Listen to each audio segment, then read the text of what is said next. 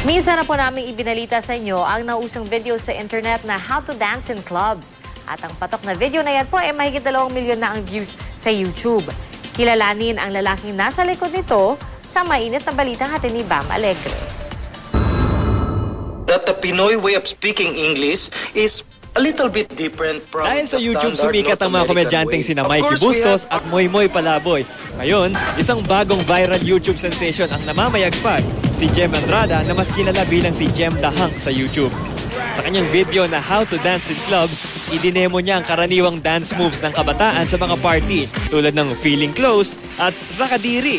Sa ngayon, may mahigit 2.5 million views na ang video. By request, nagkaroon pa ito ng parts 2 at 3. Nasundan pa ito ng tutorial kung paano sayawin ang hit song na Super Bass ni Nicki Minaj. Oh, you got my heart beat running away. Kung iisipin mo, YouTube lang yun.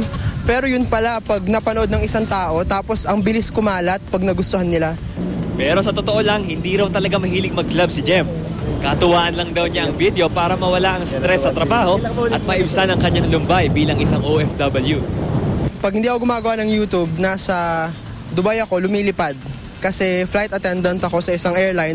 Umabot na ng 2.5 million views yung video ni Jem na How to Dance in Clubs. Ngayon, siya mismo magtuturo sa inyo kung paano sayawin yung kanyang mga moves.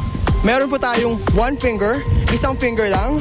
Then meron po tayong two fingers. Meron po tayong chasing the butterfly. At meron din po tayo ngayong pinakabago na ngayon ko lang na-invento, yung chasing the doves in Manila Bay. Dito po. Ayon sa isang anthropologist, mahilig daw talaga makipag-ugnayan sa iba ang mga Pilipino. At mas high-tech na nga itong nagagawa ngayon sa tulong ng internet at social networking sites. Ang Filipino in general, very relational people. Ibig sabihin, they really like uh, getting in touch with other people. Kaya sa bawat nakakatawang video na pinapauso at pinapakalat ng mga Pinoy, hindi may kakailang talagang world-class ang ating sense of humor. Bam Alegre, GMA News.